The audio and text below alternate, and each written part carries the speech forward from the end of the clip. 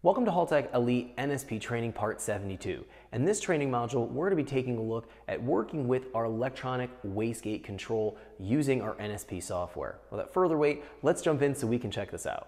Okay, so let's get started. We're going to be taking a look at working with our electronic wastegate control using a Haltech Elite and our NSP software.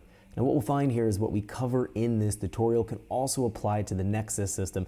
The only difference between an Elite and a Nexus in terms of electronic wastegate control is that the Nexus can directly drive and control the electronic wastegate without the need for an inline driver module as we'll have to use with an Elite system. That's because the half bridge outputs that control the electronic wastegate are sufficient in terms of the amperage sinking with a Nexus system, but not with an Elite.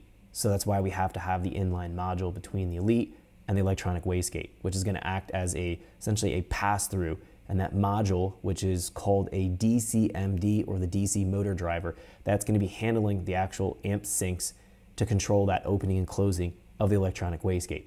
So let's jump in here and talk about what we need to configure and set up for the electronic wastegate and all the control routine here. Um, it's relatively straightforward. Haltech's done a great job with simplifying the setup and the calibration process here for working with electronic wastegate. Let's jump in here and take a look exactly what we're gonna do. So the first thing we're gonna go and move from our field tuning page, we're gonna jump into main and we're gonna turn on our boost control. And then we're gonna go and see what we have to configure for the electronic wastegate setup. So we're gonna go here, moving down our list, we're going to engine functions. And then here under boost, we're gonna turn on our boost control app output. That's gonna be allowing the option to work. Now in our boost control tab, we have a whole bunch of different things to talk about. If we're dealing with electronic wastegate control, we're gonna leave our mode here on closed loop. We're also gonna have our controlled parameter here based on manifold pressure. We're not gonna choose other options here.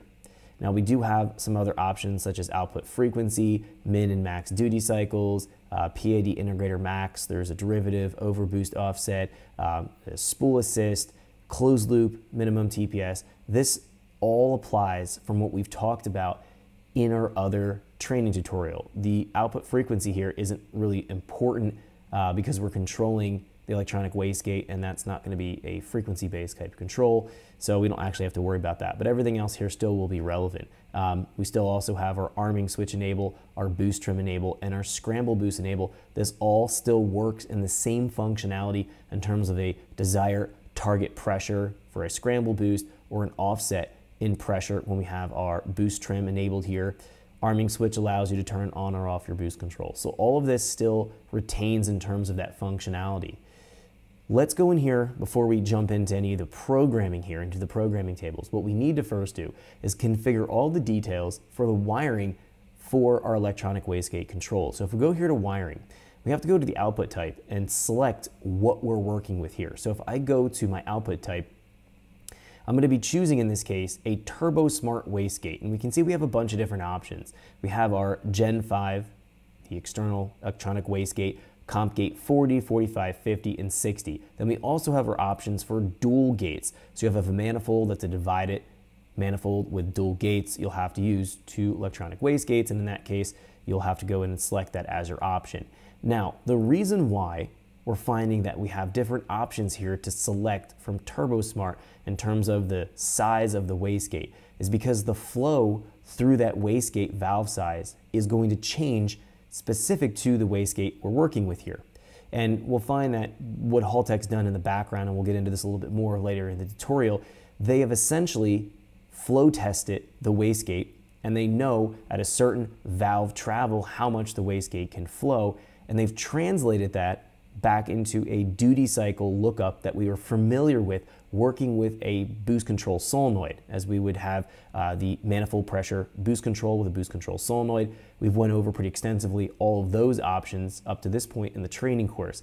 So this is going to allow, by choosing this, the control routine specific for the flow through the wastegate relative to the gate that you're dealing with. And again, if you have two gates, you'll select your two gate option. In this case, I'm going to be setting it up here on this Hypergate 45. We'll select this option.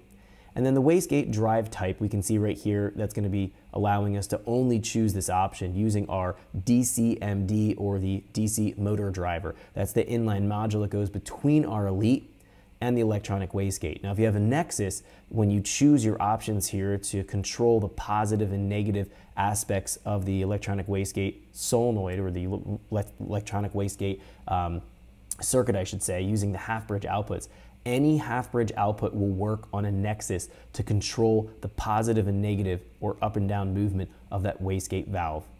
So that's kind of the distinction here.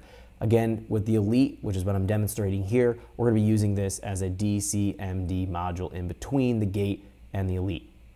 The next thing we need to do here is go ahead and assign our outputs for this drive motor. So we have a positive and a negative here. Let's do a quick reboot. If we go to the assign, I have digital pulsed outputs and that's what I'm going to be using. Thanks for checking out our teaser clip. If you want to see the rest of this video and more than 500 hours of current EFI training we have to offer, make sure you click right here. If you want to go and check out more teaser clips from this training course, click here and you don't want to miss any of the videos we're going to be releasing on this channel, so make sure you subscribe and click here. Thanks for watching and I'll see you guys later.